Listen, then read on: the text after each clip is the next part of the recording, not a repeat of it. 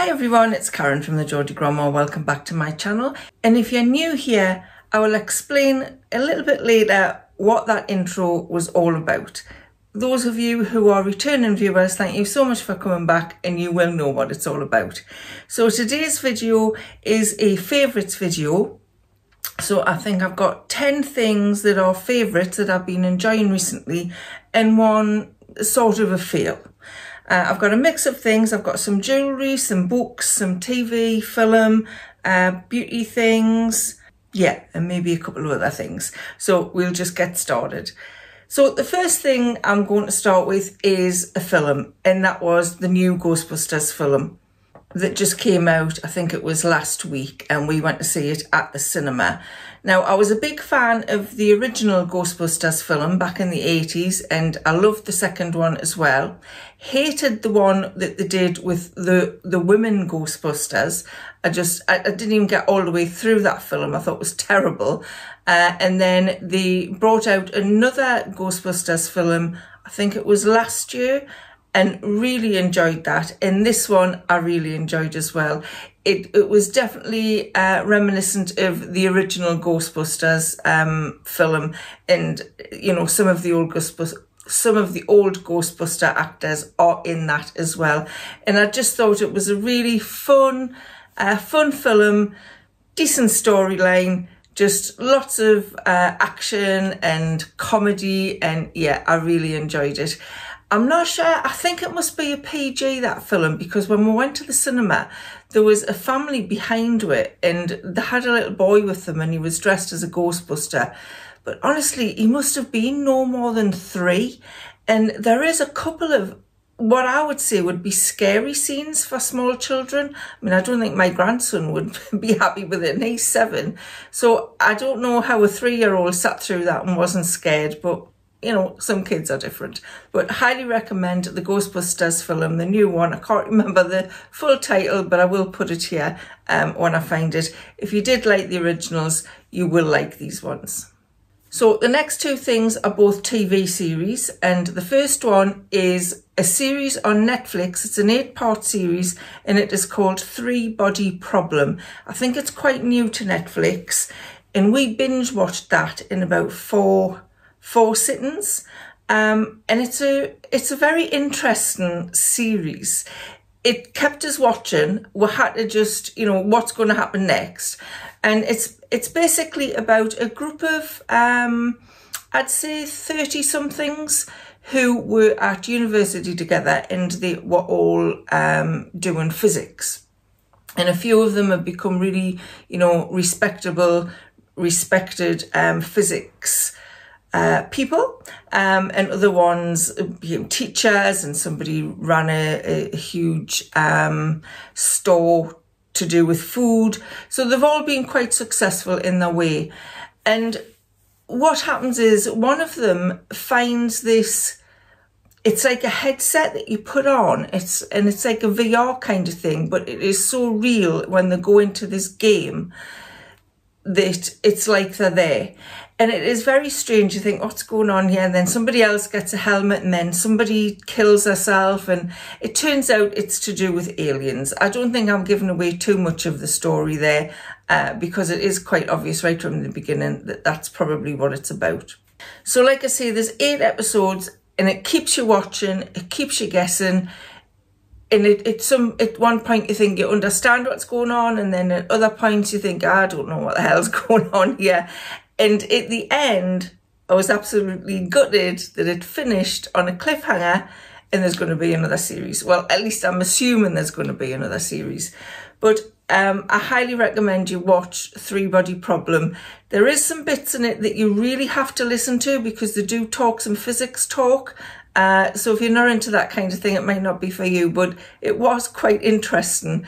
Um, and me and Warren had a couple of discussions while it was on about things like that, about physics and, and the universe. So it was quite an interesting watch. The third thing that I've been enjoying this month is a not so serious TV program, and that is also on Netflix on Netflix and it's called The Job Lot. Now, this is quite an old series. I think it was made back in 2015 and there's three series of it. They're just half hour, well, probably not even half hour episodes. Um, and it is just so funny. It is set in a job centre uh, and basically, you know, it's just a comedy around the lives of the people who work in the job centre and three or four of the regular people who are looking for a job that come into the job centre. It is absolutely hilarious. It really is. If you like a stupid kind of comedy um, that's easy to watch, quick to watch, then I highly recommend um, The Job Lot. So next we'll go on to beauty and the first thing I wanted to talk about, and I'm not sure if I've talked about this before, and that is this is the Primark uh, PS My Perfect Colour Perfect Finish Foundation. It's in a little tube like that. It cost me £3. I'm wearing it today and I just think this is a really lovely foundation. It says medium to full coverage and I would say it was probably a medium coverage. I'm not sure about full coverage. I don't have skin that's really blemished. Um, so I probably don't need a full foundation, but I would say that was a, a, good coverage um, for mature skin. This is in, I think this was the second lightest colour. I can't remember the colour it is, and uh, I can't see anywhere on here where it says. Um, but yeah, I highly recommend that. If you're in Primark, that's worth picking up and having a go for £3. Um, yeah, definitely like that one. And the other thing I've been enjoying for, from Primark that is a beauty product is the PS Skin Vitamin C moisturizer with SPF 30 and it says it says it perfects and brightens. Now in the tub it's a little orange tub. It's a white cream and it's a very it's a very bouncy cream so it's not like a moussey cream or a, um, a loose cream. It is a very bouncy cream. And it feels a little bit like when you put on suntan lotion. You know, it's got a little bit of a drying texture to it, but it is really nice cream. Um, you don't need to put that much on.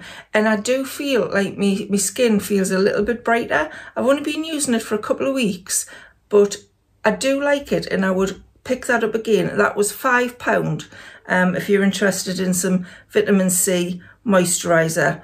That is a very nice moisturiser and well worth the price of £5. So next I wanted to talk about a couple of uh, probably household objects and the first one is my waffle maker. Now I think I've definitely mentioned this on some video before recently. Uh, my daughter bought it for us from Home Bargains. You can get them on Amazon um, they're only around the £10 mark. And this little waffle maker has changed my life, I'm going to say. I like to eat uh, low carb slash keto pancakes for breakfast with fruit and yogurt, but they are such a pain to make. I'm useless at pancakes, so Warren usually ends up making them, and they are, they are just such a pain to make.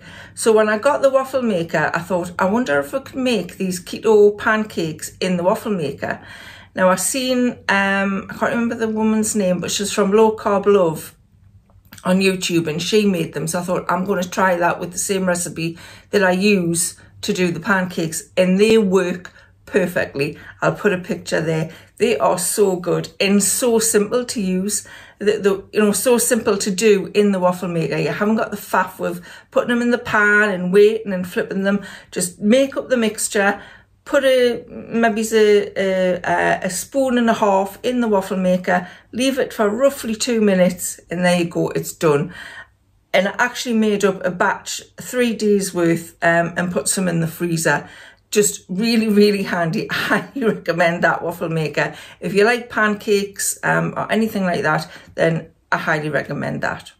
The next thing I wanted to talk about that has been a real favourite of mine, uh, and I've been enjoying this for uh, probably three months now, and it is a little silicon cupcake case.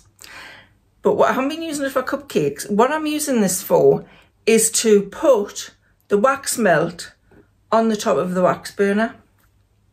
Because I find if you just put the wax melt in the top of there, that is such a pain to get the wax out when you want to put a different wax melt in. I think I got this idea from Caroline. Um, I'm sure she did it on her channel. but it's just so much easier. You put, Instead of putting it in the top of the wax melt burner, put it in the little cupcake case and it melts and it, it stays in the cupcake case like that. It still melts, you know, the, exactly the same, still has the same throw.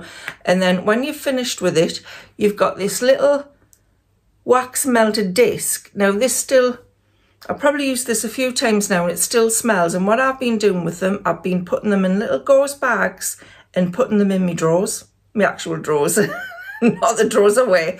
Um, putting them in my uh, chest of drawers just to keep it smelling nice. And you could actually just stand them in the room somewhere, but they still smell um, really nice. And I just think that is so simple, such a, a fantastically simple idea that saves the cleaning of the wax melt burner and all that hassle of doing that.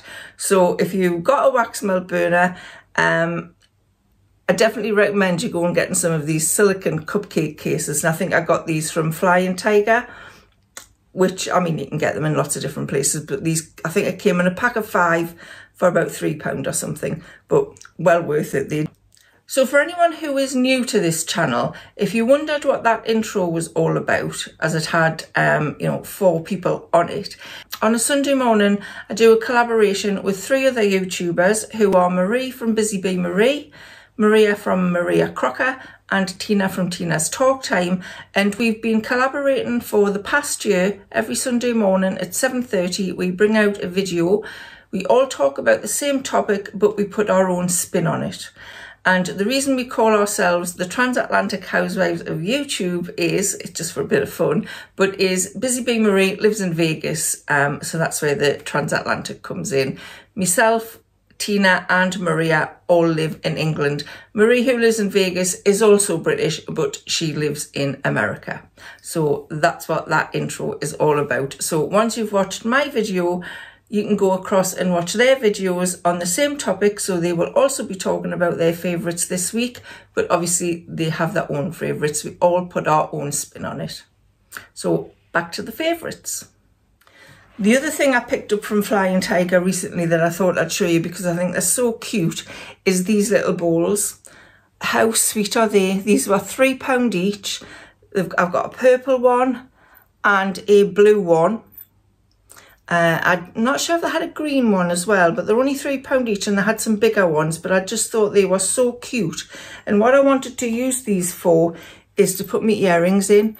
You can see I've got some stud earrings in here. I'm constantly taking out my earrings and just leaving them lying around the house wherever I am. So I bought the two bowls. One's for in the sitting room on the coffee table because I'm, I'm always taking my earrings out while I'm watching the TV. So very handy to put in there. I actually got wrong off my son for putting them on the coffee table when he was here. He says, what if Milo, our cat, gets a hold of them? well, she never goes on the table, but, you know, I can see a point. Um, so I thought I'd get one for the sitting room and I got one for my bedroom as well, for my bedside table, because I have been known to go to bed with my earrings in and think I don't really want them in and take them out and just dump them on the bedside table. But now I've got this little bowl to put them in. I just think they are really cute and very spring-like.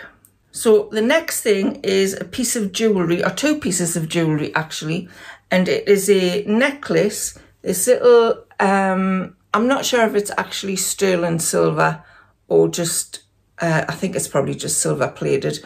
And it's got like a little pink jewel in the middle. But I just thought that was really pretty. And that was reduced from £8 to £3 in Sainsbury's.